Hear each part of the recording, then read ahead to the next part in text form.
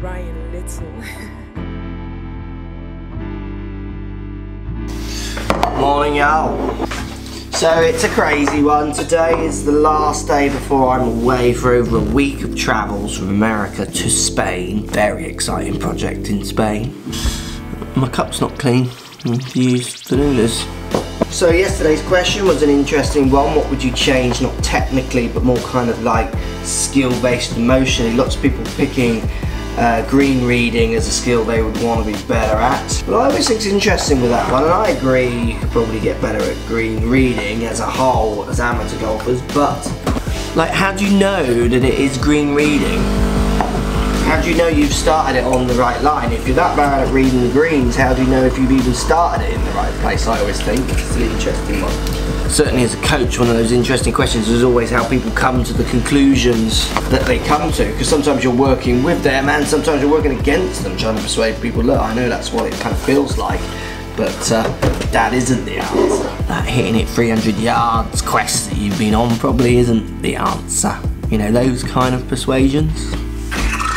So today's question, before my travels begin, what is the best country in the world you've played golf in? So what's one of the most favourite locations for you to go and play golf? Hit that comment section up down below, hit that thumbs up button as well, I think it's on this side, and the subscribe button if you don't already subscribe, subscribe to the channel, videos every day.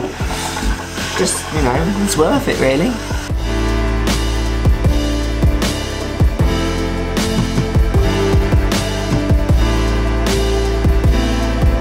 Right, today's swing's a fantastic one. Used to do this so much with students. I always think this one's quite interesting. So this player doesn't really have a great awareness of where his club face is as it swings around his body. So what I mean by that is he swings probably with a lot of speed and commitment um, but he's not afraid to have that speed and that commitment with that club face at this angle. At this stage, you can see it's almost pointing up at the sky. My club face would be pointing almost more down to the ground at this stage.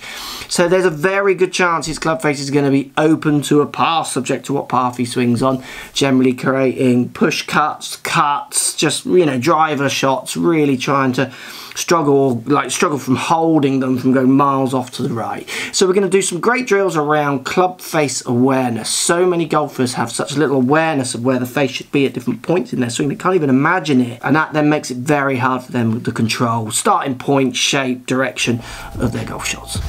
Right, I have a golf bag but I don't often have my clubs in it.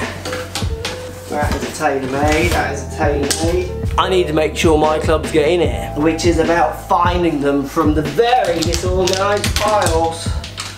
That is mine, mine, certainly looks like mine. That's my eight iron, that's the front door. That wasn't for me. Six, seven, eight, nine, pitching wedge, three wedges putter. Job's a good one. Right, second drill, really effective for visualizing face angles, wrist angles. Think about throwing something. If I was gonna throw one of these balls, now where this gets complicated is when I get golfers who play right-handed, so right-handed swingers but throw left-handed. It's a rare pattern, but when I see that pattern, club face control for those people can be challenging. So if you're one of those, it's a totally different video. Post a comment, let's see how many of you there are. There won't be many, and maybe I'll do something around it another day. But, so I'm left-handed for writing, but I would throw with my right hand. And if just think about, if I was gonna throw this ball kind of like level with the ground, I want you to think about angles your right wrist gets into to make this throw happen. So I'm going to do my backswing. I'm just going to leave my wrist, which sets at this angle, and then I'm going to put myself into kind of backswing golf and let the left wrist join. And what I'm going to notice is it's much more this way. Then, if I was to go last parallel of the throw, so equivalent to golf swing last parallel if you like, so around here for the throwing action, put the right hand on, take golf posture and almost get into that kind of pre-impact position. Again, it's pulling my wrist more this way. So that's all well and good, but you've got to do this in relationship to what you are doing to try and work out and feel the contrasting movement. So your wrist angles at the top appear to be more this way. So basically, right hand is here as left hand cups. So that would mean throwing the ball without putting that wrist hinge, that wrist angle in on the way back to then on the downswing let it go. And it's the same as you hit the ball. You're keeping this wrist hinge in there and then you're letting it all go down at the ball. Obviously that happens too quick but as soon the more you leave that wrist in there on the way down so flattening lead wrist right wrist bending back the more you often they people do just let it all go down at the bottom. So if I was to do the backswing with your wrist angles I mean it feels like I'm just going to kind of hook the ball when I throw it over here with no power. I don't feel like I've got that kind of really snappy wrist action. That's going to throw that ball out like you're skimming it. Like you're at the beach and you're skimming that stone. Give it a few actions that feel what's happening to your wrist? Relate that to your golf action. It will completely change the way you think about wrist actions club face control during the swing and it will allow you to get control of it. It will allow you to understand the differences, the nuances of the different wrist actions that control different twists in the face. Definitely will control different flights of your golf ball. Let's answer your questions. Hello. Hello. Uh, I've just won order of merit at my golf club in my first year's golf. Well done. And I've got my handicap down to six. Cool. I'm just using the old JPX 900 tour. Yes, six it is. and I'm wondering on those bad days, should I have something with a little bit more help at lower irons, like because I play a 40 pitching wedge. Um, you know, I've been looking at those new AP3s and the AP2 how you can do a combo because the JPX 900 fours don't lofting's all different and help a brother out. What we're gonna do? What we're gonna do, pops? I don't know. We ask the professional, don't we? Good question. With so much kind of um, combo sets flying around at the minute, just to say, Orla says hello to Multicoloured Bear as well. She thinks she looks cool. I think the biggest difference you would notice if you do opt for the combo set is when loft comes off that club.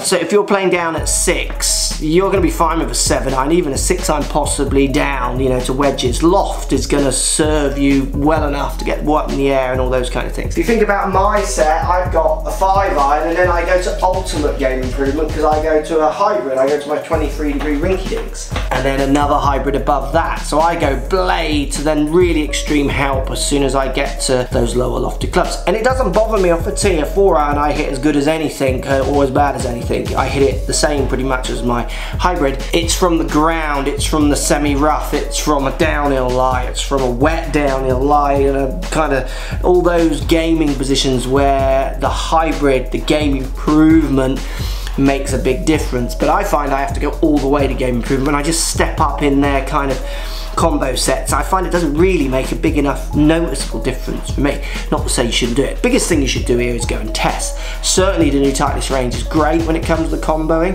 but Mizuno are making great stuff with, I mean all the companies are TaylorMade. You just got to watch the lofts like you're saying, which is about going to get a fit, maybe a bit of a gap testing within that fit with some different lofted irons if you can to make sure that you do get the correct gapping. Good question. Next year, category one, five and below. Come on bruh, you can do it. Right, it's time to go and pick up my car. Car fixed, ready to rumble. Vegas tomorrow, here I come. Alright coach? Alright. Oh. what are they? They're right fancy, aren't they? Lovely colour for me, that, isn't it? Eh? Every angle? Every angle. Wow. And that one. That angle? And that one. I like that angle. So this one. Oh, that's two lovely angles. Oh, That. Yeah. yeah, I'm not sure you can pull them off, bruh. Well, I'll give it a go. and then if, if the comments don't like it, they'll hopefully send me another colour. Then you'll wear them even more. Yeah. yeah. Right, last drill. What I want you to do is keep the face as close to you as possible. So what I mean, if you hold the club this way, opposed to full length, where the club goes a long way away from you, so the head of the club gets way out of your view, it makes it harder for you to imagine and see where it's gone. By holding it this way, so completely split-handed, you can take that club back, put twists into the face.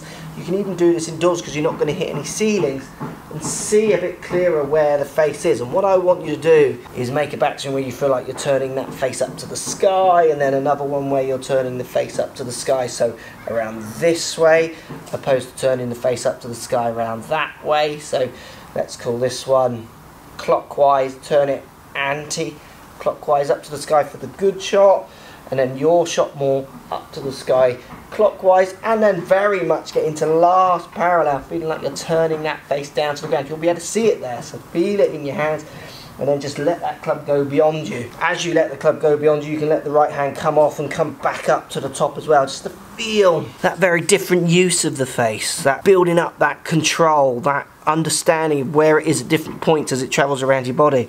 It's going to just make a huge difference to your control of your golf shots. Right, see you all tomorrow. I'm not sure what vlogs you're going to get over the next few days because travel is drive to here, fly over to here, fly over to here, and then fly into Vegas. So you could define that as a little crazy. And we better get this done for tomorrow morning. Oh, let's have one minute extra. Oh, one more minute. Ouch. See you tomorrow.